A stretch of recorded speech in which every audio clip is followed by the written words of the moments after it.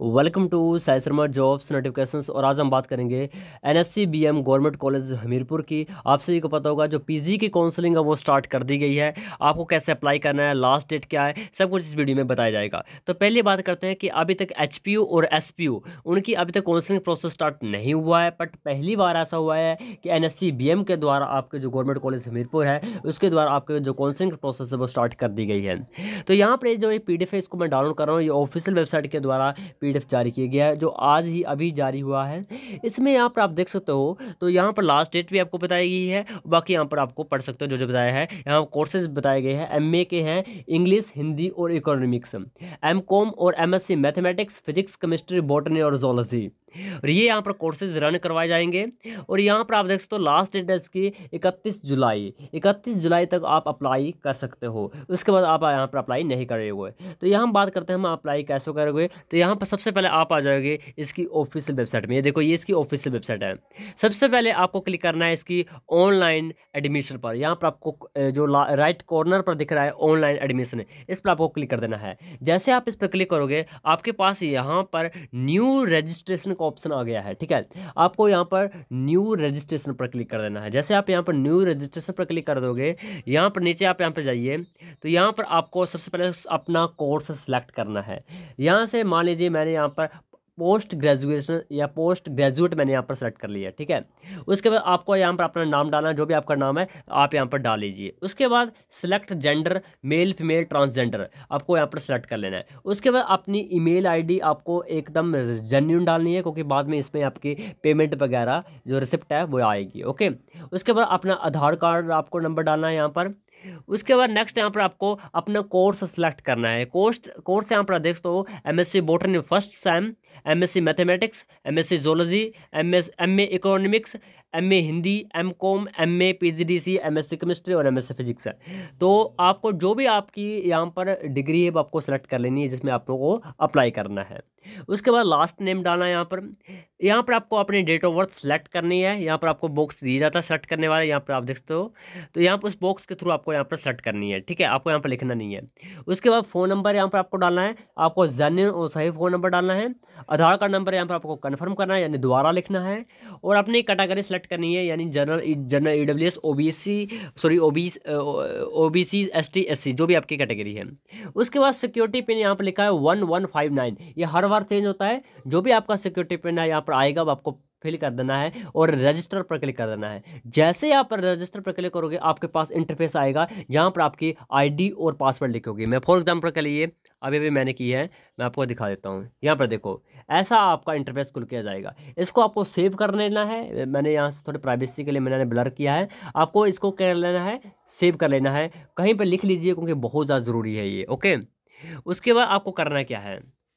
उसके बाद आपको जो नेक्स्ट प्रोसेस है, वो है आपका ऑनलाइन अप्लाई जैसे आप इस पर क्लिक करोगे, आपको लॉगिन हेयर पर क्लिक करना है। अब आपके आईडी बन गई है। अब आपको लॉगिन पर क्लिक करना है। जैसे आप लॉगिन पर क्लिक करोगे, आपके पास ऐसा इंटरफेस खुल किया जाएगा, जहाँ पर आपको तीन चार स्टेप दिए गए आपको भरने हैं।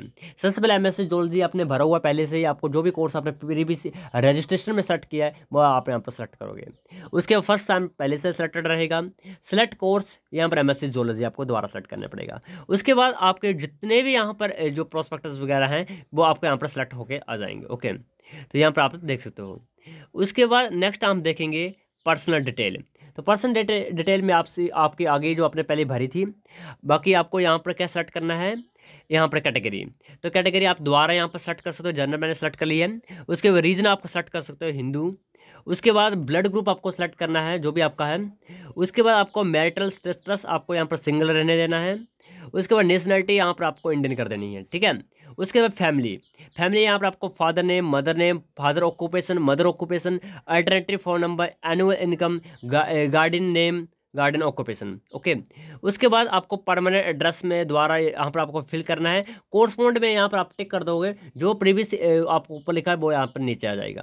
एजुकेशन क्वालिफिकेशन में देखो, ये बहुत ज़्यादा इंपॉर्टेंट है, बहुत ज़्यादा इंपॉर्टेंट है ये पोर्सन यहाँ पर आपको सबसे पहले टेंथ का यहाँ पर बोर्ड सेलेक्ट करना है एच पी बोस। उसके बाद ईयर कौन सा था, वो सेलेक्ट कर लेना है। उसके बाद रोल नंबर डाल, सेलेक्ट कर लेना है इधर से, सेलेक्ट सॉरी लिख लेना है। सब्जेक्ट स्ट्रीम यहाँ पर ऑल रहेगी, क्योंकि टेंथ में तो ऑल रहता है। स्कूल नेम आपको यहाँ पर डालना है, और परसेंटेज यहाँ पर आपको ऐड करनी है। ऐड कैसे करोगे? यहाँ पर देखो। ऐड करने के लिए यहाँ पर सीजीपी सिस्टम भी है, और परसेंटेज सिस्टम भी है। यदि आप सी बी सिस्टम से sorry C B S E से आपने टेंथ किया है तो यहाँ पर आपको सी जी पी यहाँ पर सेलेक्ट करना है अपना सी जी पी यहाँ पर लिखने हैं जितने भी आपको ऑप्टेंड है यदि आपके परसेंटेज थी तो आपको यहाँ पर परसेंटेज लिखनी है अपने हिसाब से आप यहाँ पर कैलकुलेट करके कर सकते हो आराम से यहाँ पर खुद इन्होंने अपना दिया हुआ है कैलकुलेटर उसके बाद प्लस टू प्लस टू का आप सेम ऐसे करना है उसके बाद ग्रेजुएशन का देखो ये इंपॉर्टेंट है ग्रेजुएशन में यहाँ पर आपको स्टेटस सेलेक्ट करना है यहाँ पर कंप्लीट उसके बाद लास्ट ईयर पास यहाँ पर आपको फ़र्स्ट सेकंड यहाँ पर आएगा थर्ड ईयर यूनिवर्सिटी आपकी आएगी एच पी यू यहाँ पर ढूंढ लेनी एच पी ये देखो H P university. Of passing दो हज़ार तेईस।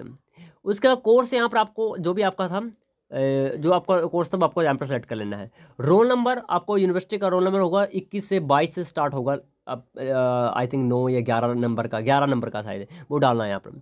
रिज़ल्ट यहाँ पर आपको लिखना है पास्ट यदि आप रिपेयर के हो तो रिपेयर का को कोई फ़ायदा नहीं डाल सकते हो बट आपको आगे जाकर रिजेक्ट कर दिया जाएगा। रिपेयर बाय बच्चे इसको फॉर्म अप्लाई नहीं कर सकते हैं। परसेंटेज में देखो भाई, ये इंपॉर्टेंट है। यहाँ पर देखो तो मैंने आपको पहले ही सी सिस्टम बताया है, इनका क्या होता है? तो यहाँ पर देखो ग्रेडिंग पॉइंट टेन है, ठीक है? यानी जिसके भी मार्क्स रेंज 91 से 100 के बीच में, उसका ग्रेड पॉइंट 10 आएगा। मान लीजिए यहाँ पर मैं आपको फॉर एग्जांपल के लिए लूँगा। यहाँ पर देखो सी सिस्टम है आपका। और आपके यहाँ पर ग्रेड पॉइंट आए हैं nine point one two.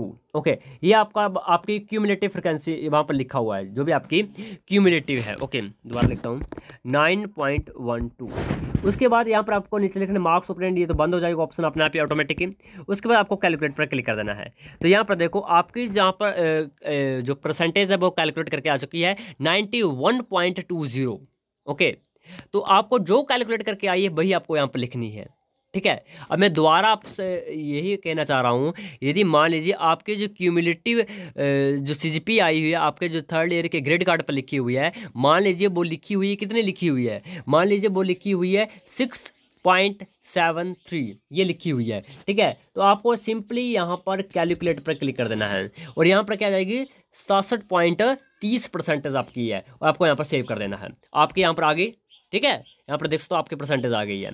उसके बाद have you given H P entrance exam for the P G classes तो यहाँ पर आपको येस करना है। येस करोगे, तभी आपका बेनिफिट है। नो कर दिया तो आप तो ऑलरेडी रिजेक्ट हो गए। तो ये छोटी छोटी बातें यस तो यहाँ पर एंट्रेंस का आपको रोल नंबर डालना है, बीस, दो सौ पच्चीस, बारह, तीन सौ पचपन, जो भी आपका एंट्रेंस का रोल नंबर था। ओके छोटा जैसा होगा, पाँच छः अक्षरों का ओवर में डाल देना। जो आपका रिज़ल्ट आया था, उस रिज़ल्ट में आपका एंट्रेंस का रोल नंबर है। एंट्रेंस में आपके कितने मार्क्स हैं? ढंग से डालना, जो अच्छे, जितने भी हैं जेन्यून डालना, क्योंकि बाकी, बाद में वेरिफिकेशन तो होनी है डॉक्यूमेंट वेरिफिकेशन तो यहाँ पर आपको मार्क्स डाल देने हैं। बोनोफाइड यस नो आपकी मर्ज़ी है। आई में हो तो यस कर लीजिए फ़ीस कम लगेगी। अगर हैं तो अपलोड करना पड़ेगा document single girl child yes करना तो येस कर लो। अगर है तो अपलोड करना पड़ेगा अदरवाइज़ नो कर सकते हो। प्लस टू आपका गैप सर्टिफिकेट है तो ठीक है, नहीं तो आपको यहाँ पर नो कर सकते हो। ठीक है?